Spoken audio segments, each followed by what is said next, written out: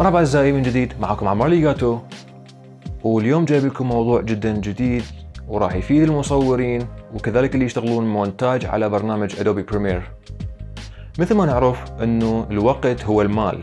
يعني لما تخلص مالتك ال project سواء كان تعديل صور أو تعديل أو مونتاج فيديو بطريقة أسرع راح تحصل فلوسك بسرعة اللي هي إنتاجية أقوى.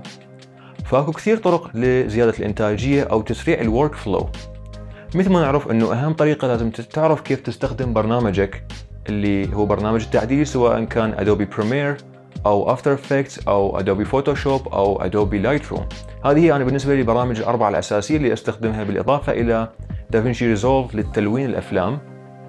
فمثل ما عرفنا إنه لما تضبط مالتك ال workflow أو طريقة العمل أو التعامل مع هذه البرامج راح تسرع مالتك ال workflow كذلك إذا تعلمت ال shortcut اللي هي بال keyboard. كيف راح تستخدم اليد اليد الثانية حتى تسوي ال shortcut بال keyboard راح تسرع مالتك الأداء. لكن إذا تريد تأخذ مالتك ال performance أو الأداء للمرحلة الثانية وتصير أكثر محترف وأكثر إنتاجية أكو أشياء أخرى إضافية مثل استخدام ال panels اللي هي مثلا أكو شركات كثير تسوي panels مثل Blackmagic أو غيرها راح تكون جدا مكلفة. لكن أكو شركة اسمها Loupedeck اللي سوت ال panel أو الناس تسميه keyboard بس هو مو keyboard هو بالأصح هو panel اللي هو راح فقط يساعد الانتاجيه مالتك اللي راح يكون dedicated فقط للمونتاج. هذا اللي راح نشوفه اليوم هو فقط للناس اللي تشتغل مونتاج فيديو أو صور أوكي؟ يعني تعديل الصور سواء كانت بال Photoshop أو ال Lightroom وكذلك للي يشتغلون فيديو بال Adobe Premiere. المعنا اليوم هو ال Loupedeck Plus. مثل ما نشوفه هذا اللي هو أمامنا طبعا هو حجمه مو مو هالكبر لكن هذا فقط هو التغليف مالته. هو بالأصح أصغر اللي هو مجرد panel USB راح نربطه يساعدنا بالتحكم بال شلون نقول الإعدادات أو المتغيرات مال الالوان اللي مثلا راح نشوفها مثلا اليوم خلينا نفتح هسه ونشوف شنو اللي بنصه. مثل ما نشوف تغليفه هو جدا جميل يعني مراحل متعددة من التغليف يعني فتحنا واحد وهذا واحد وبعد واحد ثاني وظل نفتح وجدا التغليف مالته جدا جميل. ال quality مالته مال build جدا جميلة كذلك. راح نجي نشوفه بالتفصيل وراح نتطرق لتفاصيل الداخلية وراح نشوفه كذلك. فأدري بيكم أنتم جدا مشتوقين حتى بس نفتحه ونشوف شنو اللي بنصه. أوكي؟ بس يعني ما أنا أشوف إنه هو شيء جدا حلو. مثل ما تشوفون إنه هو هذا أمامنا. هو هذا ال Loupedeck اللي هو keyboard جدا جميل اللي هو يحتوي على عدد من ال knobات أو أقراص التدوير وكذلك نقدر نضغطها. راح يساعدنا جدا بالمونتاج والتعديل مال الصور. راح تعالوا خلينا نشوف يعني بطريقة أقرب شنو هذه الأشياء وكيف راح نضبطها وكيف راح تسرع مالتكم ال workflow أو الأداء أثناء تصوير الفيديو. ونرجع ورا شوية. مرحبا أعزائي معكم عمر ليجاتو من جديد. أحب أذكركم أنه إذا عجبكم المحتوى مال القناة وال content وال quality مالتها والجودة مال الدروس يا ريت لو تسوون subscribe للقناة وتسوون like لهذا الدرس حتى أسوي لكم درس آخر. كذلك حتى تجيكم التنبيهات لما ينزل درس جديد لأنه للأسف بس 10 أو 15% من متابعيني هم مسوين subscribe للقناة لأنه تطلع عندي بال statistics المهم نرجع لل Loupedeck Plus اللي هو اليوم اللي هو ال panel اللي راح نتكلم عنه اللي هو راح يساعد كل واحد يقوم بمونتاج أو تعديل صور بال Lightroom. مثل ما نعرف إنه keyboard مال مال الكمبيوتر العادي اللي نستخدمه كذلك تقدر تسوي customization وبي shortcutات يعني بي بي يعني أشياء اختصارات لكن هذا المكان راح يكون أسرع لك لأنه ما راح تحتاج تستخدم الماوس بكثرة مجرد تعدل من هنا ال clarity الوضوح الحدة التباين إلى آخره السواد الأبيض ال highlights منطقه الساطعه بالإضافة إلى تغيير كل لون على حدة من هذه المكانات وكذلك تقدر هذه الأزرار تسوي لها تخصيص حسب رغبتك أنت تختار شو تسويها. فمثل ما تشوف أكو هنا undo redo إلى آخره copy paste لل preset اللي هي تساعدك بنقل و copy يعني ال setting مالتك وتنسخها بغير مكان. ومثل ما تشوف هنا عندك شلون نقول ال rating مال الصور لما تحددها. كل هذه الأزرار طبعا customizable شو تريد تقدر تغيرها؟ تخليها تسوي كذا. task أو كذا شغل معين. من هذا المكان راح تشوف قبله وبعده بس تضغط يشوفك قبله وبعد التعديل بصورة سريعة ولما تعجبك. إذا تريد تشوفها بطريقة أكبر تسوي screen mode أكبر تسوي full screen وتسوي لها export يعني هي تصدير وتغير بالصور منها وتنتقل بين الصور. ومثل ما قلت لكم إنه بيك عندك هذه الأزرار راح تكون customizable كلها يعني متغيرة الضبط. أنت تختار شو تسويها عندك بكل مكان أزرار. وكذلك هذه الأزرار لما نغيرها ال knobs نقدر نضغطها. يعني هذه كلها تنضغط. حتى هذا الكبير اللي هو ال control dial أو مثل نقول الدوار الرئيسي كذلك ينضغط. okay ومنها تختار custom mode إلى آخره. بعدين راح أجيكم بالتفصيل. هسه إذا نجي نريد نشغله أنا طبعا ربطته على ال USB بس حاليا الكمبيوتر ما يستقبله. يعني ما نتعرف عليه فلازم ندخل لموقع الشركة اللي هو هذا اللي هو اسمه Loupedeck dot en أو slash en اللي هو English راح أدخل على ال setup راح يقول لك يا setup راح تسوي راح أسوي Loupedeck Plus أدوس عليه راح يفتح لي النافذة مال Loupedeck Plus يقول لك اختار نظام مالتك سواء كان مايكرو sorry Mac ولا Windows راح أختار Windows Please be sure you download and run the latest version of the Loupedeck. Okay. Be sure all related okay. You must be logged in as admin on Windows. Okay. تمام سويناها دخلنا لل Windows وإحنا admin. لازم تطفي شكو antivirus عندك okay راح أنزل آخر إصدار اللي هو 4.11 بدأ ينزل بيه حجمه 100 ميجا wow. هذا طبعا هو مثل ال firmware اللي راح يسوي setup مال Loupedeck Plus. راح ينزل هسه خلال فترة قصيرة. خلينا ننتظره ونرجع له ورا شوية بين ما يكمل ال download مالتنا. وحاليا أصدقائي مثل ما تشوفون إنه ال download مال software مال Loupedeck Windows كمل راح أجي أضغط عليه بهذا المكان راح يفتح لنا التنصيب مالته. Agree. Install.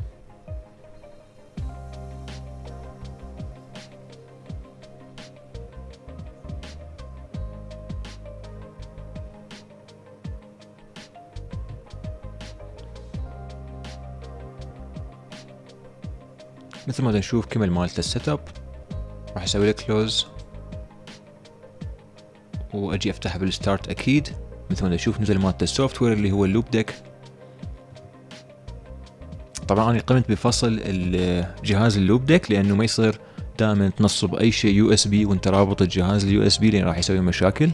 راح حاليا أجي أربط ال Loupedeck مالتي لأنه حاليا مثل ما تشوفون هنا مفصول عن ال USB راح أربط الكيبل مالته ال USB ونشوف. ورا ما قمنا بتنصيب البرنامج وطبعا قمنا بعمل restart يلا الكمبيوتر تعرف على ال Loupedeck okay. فحاليا فتحت منها ال Loupedeck اختاريت ال Loupedeck منها Plus اللي هو هذا انفتح أمامي ال customization مال الأزرار كلها مثل ما نشوف. فأي أي واحد بنفسجي اللي ينطيك كذا. أنا طبعا اختاريت منه أنا التعديل مال Lightroom لأنه هذه البرامج كلها مدعومة اللي هي After Effects Audition Aurora HDR Capture 1 Lightroom Classic Photoshop Premiere Pro أنا راح أجي بس أستخدم هذول الثلاثة واحتمال After Effect بس على أكثر هذول الثلاثة عندي مهمات. أهم شيء عندي ال Lightroom مع ال Premiere Pro ما راح أستخدم كثير Photoshop ما راح أستخدم البقية. عندي أهم شيء ال Light ال Lightroom Classic خلي نفتحها. فمثل ما تشوفون كل زر دا يصير بيه ال customization فدا يقول لك أنت بيا mode راح تشتغل عليه. هسه أنا حاليا فاتح ال develop اللي هي مكان التعديل وليس ال library لما فاتح ال develop بال Lightroom Classic نشوف كل زر راح يسوي لنا فد شيء فهسه هذني مبين مكتوب عليها undo redo إلى آخره custom بس هذولي ما تعرف شنو بيها لازم إلا نفتحها ونشوفها اللي هي هذه. بالإضافة إلى ضغط هذا الزر نفسه راح يفتح لك. مثل شلون ذولي not customizable لاني ما يتغيرون. هذا ال C1 C2 يتغيرون. هذا ال كله يتغير. أجي إذا أجي أفتح أشوف شنو اللي مختاريه حاليا مثل ما تشوفون حاطين ال brush تقدر تضغط ثلاث مرات تغير بين ال brush وال radial filter وال graduated filter أنا ما راح أغير راح أخليه كله stock حاليا. كل شيء ما راح أغير بيه راح نيجي نفتح برنامج ال Lightroom Classic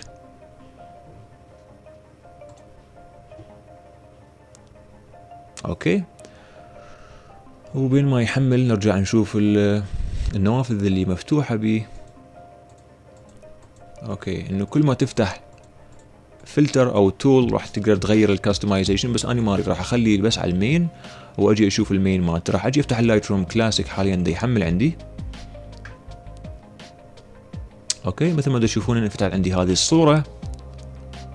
نسد هذه حتى نكبرها ونسد هذه حتى نكبرها كذلك. هذه الصورة عندي جاهزة كاملة. آه أنا حاليا بال develop mode وليس ال library يعني develop يعني التعديل. كذلك راح أسدها حتى نشوف التعديلات راح ننتبه على هذا المكان راح أجي أجرب.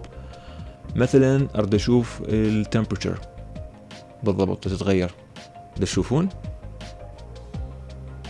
طبعا جدا دقيق التعديل مالتها. فبكل سهولة راح أجي أغير كل ال setting مالتي. مثلا أنا إذا أحس الصورة بيها saturation كلش عالي راح أجي أقلل ال saturation مالتها مثل ما تشوفون كل هذه تتغير حاليا. إذا ندوسها شي يصير؟ ترجع للصفر. okay فكل واحد تضغطه يرجع للصفر يسوي reset ال vibrance كذلك تقدر تزيد وتقلل. مثل ما تشوفون راح أصفر ال saturation أريد أغير ال clarity أو الوضوح. تشوفون شلون تتغير؟ طبعا تستجيب للسرعة وكذلك للدقة. يعني جدا دقيقة تقدر تغير واحد واحد وإذا تدوره بطريقة سريعة راح يطفر طفرات كبيرة. رجع صفر أو احتمال نطي شوية عشرة عشرين. contrast كذلك التباين إلى آخره وكذلك منه راح أقدر أغير ال rating مال الصورة. مثل ما تشوفون صفر إلى آخره ثلاثة بهذه الطريقة خمسة. تشوفون منها تعطيها خمس نجمات اللي هو تسوي rating مالتها. تقدر تضغطه وتدوس بهذا الشكل راح تسوي هذه الأزرار هنا okay صارت 3 stars and higher okay 5 stars إلى آخره. ومثل ما تشوفون إنه دا يغير item item بالمطلوب. هذا على أكثر هذا راح يس... okay هذا راح يسوي rotation لأنه إحنا مختاري هذا الكبير راح يسوي rotation نجي نجرب هذه اللي هي التصحيح اللوني للون واحد منفصل. مثل ما تشوفون بالشاشة يتغير كل واحد وحدة. مثلا طبعا هم ينضغط بالمناسبة حتى هذه تنضغط. كل هذه تصفر اللون. أريد أزيد مثلا الأخضر اللي هو مكان الخيار راح نشوف هذا الأخضر. تشوفون؟ زاد ال hue. حاليا دا يغير ال hue أنا ما أريد أغير ال hue أريد أصفر ال hue بس أريد أحول على التشبع اللوني. راح منها أغير saturation وأغير التشبع مال اللون الأخضر. مثل ما تشوفون قام ينزل اللون الأخضر بالصورة. أريد اغير ال luminance أو الإضاءة مال الأخضر. تشوفون دا يصعد وينزل اريد أرجع على اللون الأحمر مثل الطماطم راح أروح على أحمر من هنا أختار ال hue. طبعا ال hue راح يغير ال tone أو ال toning يعني مال اللون راح يغيره يسوي أقرب للون المجاور. فالأحمر راح يتغير يصير إلى برتقالي أو إلى وردي فأني ما أريد اغير راح أسوي reset أحول على ال saturation أغير التشبع مال اللون الأحمر مال الطماطم. بهذا الشكل مثل ما تشوفون. وكذلك أقدر اغير ال luminance مالته اللي هي الإضاءة مال الأحمر بهذا الشكل. دام أنت راح تحتاج تغير مثل ما تشوفون بالصورة راح نحتاج نغير ال saturation نراقب الصورة بكل مكان. تشوفون البرتقالي كذلك مشبع. أقدر أغير مالته التشبع مال البرتقالي. نزل التشبع مال البرتقالي. راح أدوس ال knob نفسه أو القرص يرجع يسوي صفر. يرجع للطبيعي. مثلا تشوف الصحن اللون الابيض مالته جدا قوي راح أروح على ال white أنزل ال white مال الصحن إلى آخره. أو تريد تغير ال highlights أنت بكيفك حسب الرغبة. تشوفون ال highlights شلون نزلت؟ تريد تزيد السوادات بالصورة أو تسويها داكنة أكثر مثل ما تشوفون اللون الأسود. clarity تريد تصعد ال clarity مال الصورة بهذه الطريقة. هذه كل هالأشياء المتغيرات وقلنا لكم هذه الأزرار راح تصير كلها customizable أكثرها يعني تقدر تغير مالتها ال setting تقدر تسويها black and white الصورة أو ترجعها طبيعية. من هذا المكان نشوف before و after نرجعها قبل وبعد التعديل وتشوف الفرق. full screen mode يدخلك للشاشة الكاملة. وأهم شيء اللي هي ال export أو الخزن اللي راح نخزن منها الصورة ندوس هذا يفتح لنا ال export window اللي راح أسدها ما أسوي أي شيء راح أطلع منها. هذا كان بالنسبة لل Lightroom نفس الشيء راح يكون بالنسبة لل Adobe Premiere Pro اللي هم كذلك راح أفتحه بهذا المكان. مثل ما تشوفون حاليا دخلنا لبرنامج Adobe Premiere راح أدخل لل setting مال البرنامج حتى بس أطلع على ال setting مال Premiere شنو هي حتى بس نتعرف على قسم من ال shortcutات. مثل ما تشوفون كلها customizable بال Premiere كلها صار أكثرها طبعا بنفسجيه ال custom mode okay. ال custom mode من اشغلها راح يفتح لك قسم ثاني جديد ما له علاقة بالأول.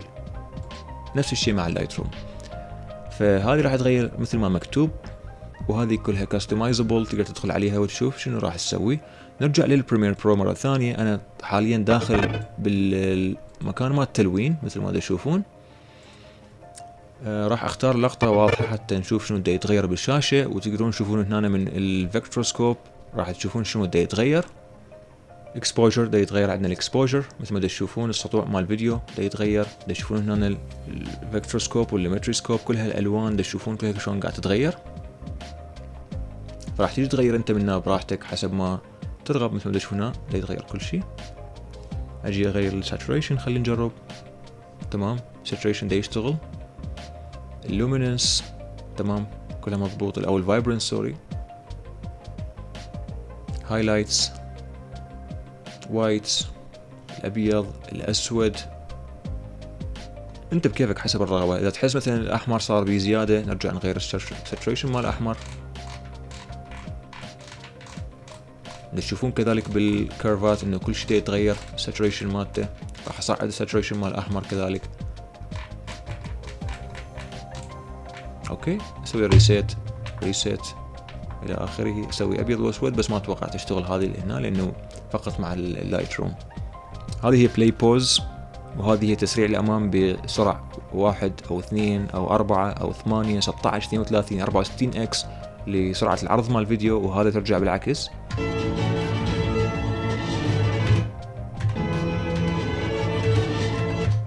Okay؟ وكذلك مثل ما قلت لكم ندخل على أزرار البقية نشوف كل واحد شو يسوي. نجي راح نجرب الزر الأساسي كذلك اللي هو مهم اللي هو ال export. أكيد راح يسوي export. راح يفتح لنا نافذة ال export اللي هي من هنا راح حتى نسوي تصدير للفيديو مالتنا ويندوز export وعندنا بعد D2 okay D2 يسوي scrubbing على ال timeline يعني يروح ويجي يمين ويسار. تنتقل منه وعندك نفس الشيء منها تنتقل frame واحد. هذا لما تدوسه يقطع مثل ما تشوفون قطع الفيديو. يقطع. وال D1 مثل ما قلنا يسوي zoom ولما تضغطه okay يسوي full screen لل timeline أو يعني عرض كامل لل timeline L1 L2 L3 قام يغير مثل ما تشوفون بالايقونات أو المؤشرات. أتمنى عجبكم ال review مال Loupedeck Plus اليوم وما طولنا عليكم بس حبيت أشوفكم كل الأشياء اللي موجودة بي. جهاز أو keyboard أو panel جدا مهم لكل من يحب يطور نفسه بالمونتاج ويسرع من شغله. ونشوفكم درس جديد لا تنسون تسوون like للدرس و subscribe لأنه راح أبدي أنزل أشياء أكثر وعندي مشاريع جدا قوية راح تنزل على المستقبل القريب. حاليا دا أشتغل على استوديو جديد راح يكمل عن قريب إن شاء الله وتشوفون الجديد. وأشوفكم بدرس ثاني ومع السلامة إلى اللقاء.